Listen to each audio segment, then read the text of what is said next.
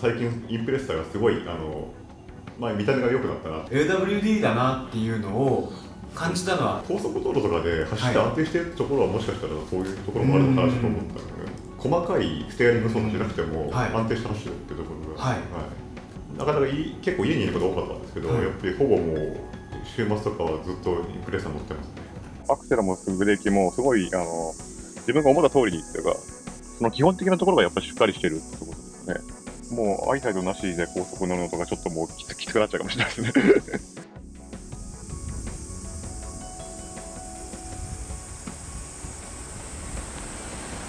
ここまで細くて右前がこんなによく見える車っていうのはちょっとないなと思ったもんで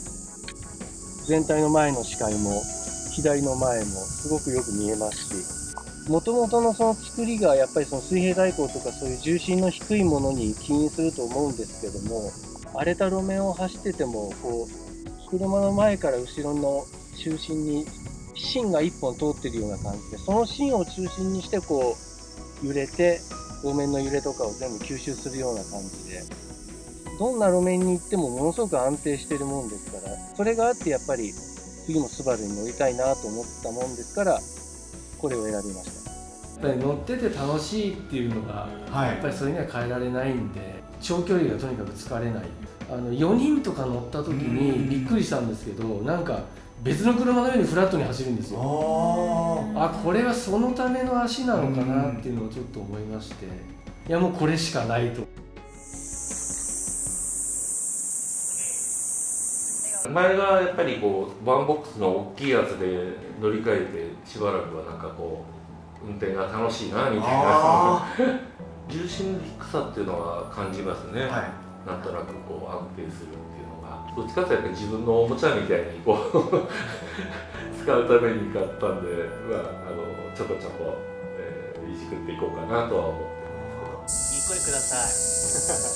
あのちょっとイメージになったんで釣り上がったから目は短くなったドライブも好きなんであ鴨川の海沿い走ってみたりとか、あはい。うん気持ちよく景色見ながら、ね、走るのが好きです。で高速で初めて長距離でアイサイトを使ったんですけど、楽ですね。遠出して、はい。その高速道路とかで、まあ、誰か友達とかうん。家族とか大切な人を乗せる時とかは、まあ、保険として一応あアイサイト横滑り防止装置とかカメラはの機能はちょっと活かしておこうかなってあ心がけてます2月に雪降った時にまあちょうど新品のスタッドレス履いてたってこともあったんですけどいやー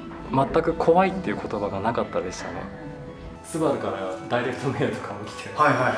あースバルなんかスバルがなんか呼んでるなみたいな。何が一番重要かっていうと、はい。駐車場に入るかどうかなんですね。ご自宅のあー。まあマンションなんであ。そうすると大きい車が入んないんですね。はいはいはい。たまにはなんかいくつか試乗してみようかな。はい。と思って乗ったインプレッサが意外といいなと。日常のそれこそ通勤で使う。であとまあプラスアルファレジャーで使うっていうことを考えた時にあレギュラー仕様で明らかに楽しかった。まあ知れば知るほどうんやっぱり興味は出てきてアイサイト自体ね。自分で判断できない危険な時に守ってくれるんだろうな、うん、だからそこの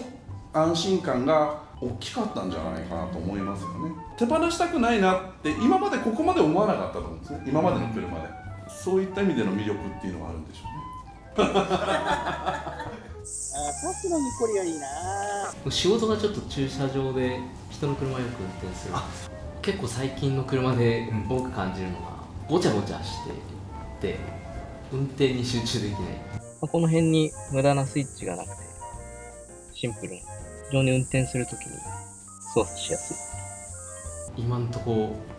他に考えられないですね